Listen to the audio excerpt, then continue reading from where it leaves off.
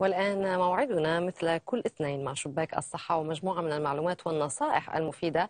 تقدمها دانيا أرشيد. مساء الخير دانيا. مساء الخير يا ديما ومساء الخير لجميع المشاهدين. الحقيقة اليوم الموضوع عن الملاريا اللي اقترحه إقبال لأنه مركز السيطرة على الأمراض CDC ومعهد كينيا للأبحاث الطبية KEMRI يجدان طريقة جديدة للحد من انتشار الملاريا هذا المرض الذي أنهك القارة السمراء. نتابع التقرير ونبدأ النقاش.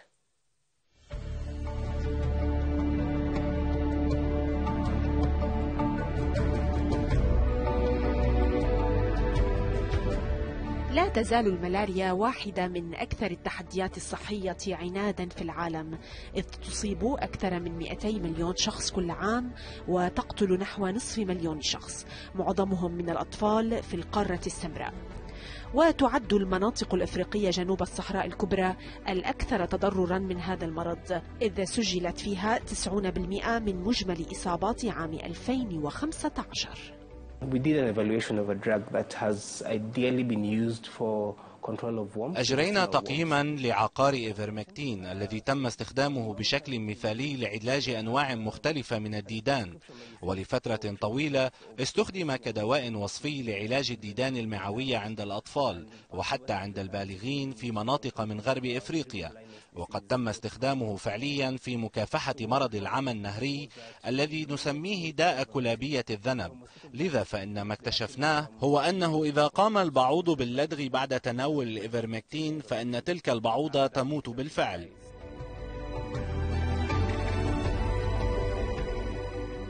ويعتقد باحثون في معهد كينيا للأبحاث الطبية أنهم ربما وجدوا طريقة جديدة لمنع انتشار الملاريا في المجتمعات البشرية الصغيرة. الإيفرمكتين هو واحد من الأدوات التي يمكننا استخدامها للحد من الملاريا. فإذا قمنا باختيار مجتمع ما أو قرية ما أو مقاطعة على سبيل المثال والجميع هناك تلقى الدواء في الوقت نفسه. هذا يعني أنه خلال 28 يوما التي يكون فيها الإيفرمكتين فعالا سيكون لدينا تأثير قاتل فعال ومستمر للبعوض إذا ما لدغ هؤلاء الأشخاص في تلك الفترة.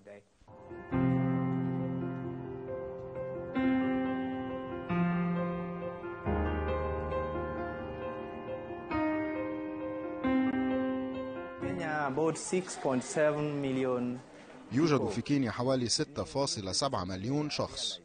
وإصابات جديدة من الملاريا تسجل كل عام ويحصل حوالي أربعة ألاف حالة وفاة كل عام أيضا بسبب الملاريا. وإيجاد لقاح يعني أننا سنحسن مناعة مواطنينا خاصة أولئك الذين يعيشون في المناطق الموبوءة بالملاريا. وهذا من شأنه في الواقع خفض معدل الإصابات ومعدل الوفيات أيضا ومن شأنه أن يقلل من معدل الإنفاق.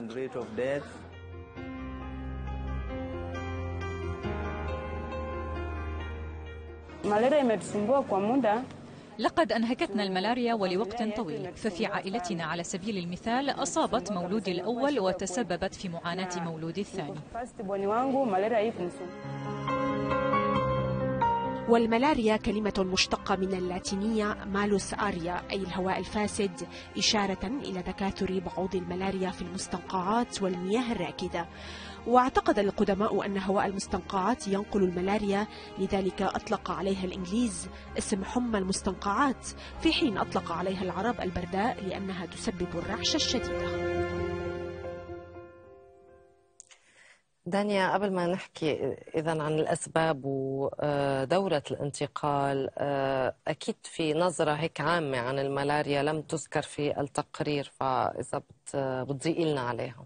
طبعا مثل ما بتعرفي الملاريا هو مرض يسببه طفيلي ينتقل عن طريق البعوض الحامل لهذا أو من لدغ البعوض الحامل لهذا الطفيلي وتسبب مرض الملاريا هجمات متكررة من القشعريرة والحمى وبحسب إحصائيات منظمة الصحة العالمية فإن أكثر من نصف مليون شخص يقضي سنويا بسبب الملاريا.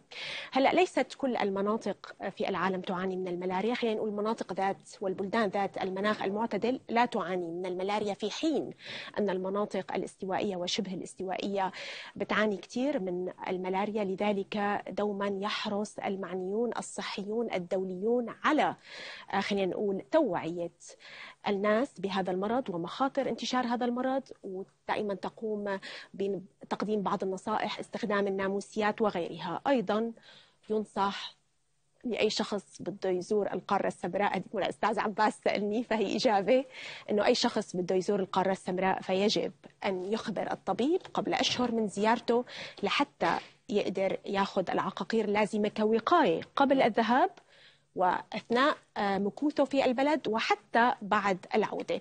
طبعا يظهر مرض الملاريا بشكل عام في غضون أسبوع من بدء الإصابة به وأعراضه هي إما حمى أو قشعريرة أو تعرق أو صداع أو قيء أو إسهال. طب شو دورة انتقاله؟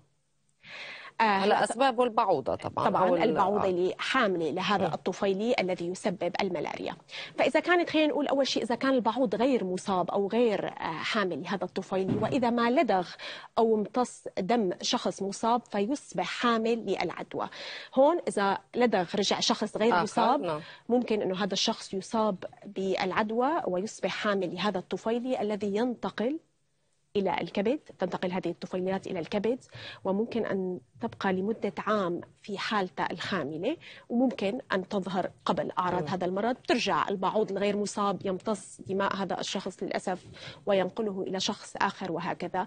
وأيضا في طرق أخرى لانتقال هذا المرض هو من آه، دم الأم إلى الجنين أو عن طريق نقل الدم الملوث من شخص إلى آخر أو استخدام الحقن الملوثة بهذا الطفيلي والبعوض قادر يسافر من القارة إلى لندن إلى بده فيزا إلى أوروبا إلى طيب وشو مضاعفات هذا المرض؟ يعني هل هو مرض مزعج فقط؟ خلينا نقول أم مضاعفاته خطيرة؟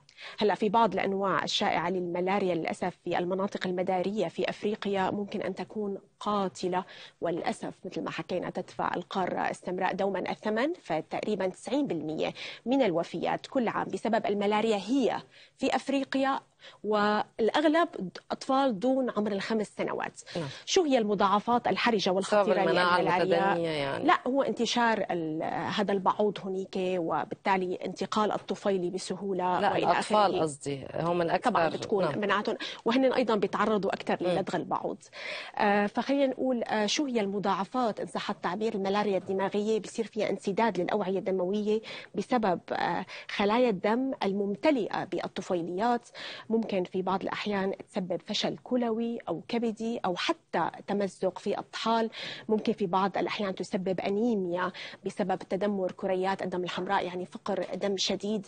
وممكن في بعض الأحيان تسبب انخفاض حاد في سكر الدم والذي يؤدي بالتالي إلى الغيبوبة والوفاة. نعم. طب هذا السؤال. وأيضا كمان امتلاء آه، من أحد مضاعفاته عفوا امتلاء الرئتين بالسوائل فبتؤدي بالتالي إلى صعوبة في التنفس. نعم. هذا السؤال كان حأسأله على لسان أستاذ عباس. شو سبل الوقاية؟ إذا حدا مسافر إلى القارة. طبعا إذا آه، سبل الوقاية أو إذا الواحد عنده سفرة سواء للسياحة أو للعمل في أفريقيا بغض النظر لازم يشوف أول شيء الطبيب قبل ويحكي مع الطبيب شو الوجهه اللي مسافر لها لأنه في أنواع مختلفة من طفيلي الملاريا وبالتالي في عدة خيارات من العقاقير.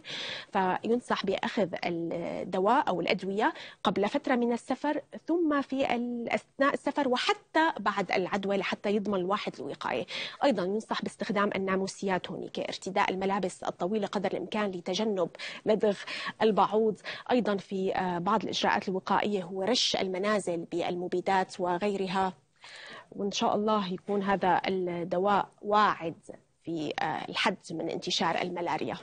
وسلامته الأستاذ عباس والجميع. سلامة الجميع. شكرا كثير آه، دانيو. بعيد الشر عنه عن الجميع.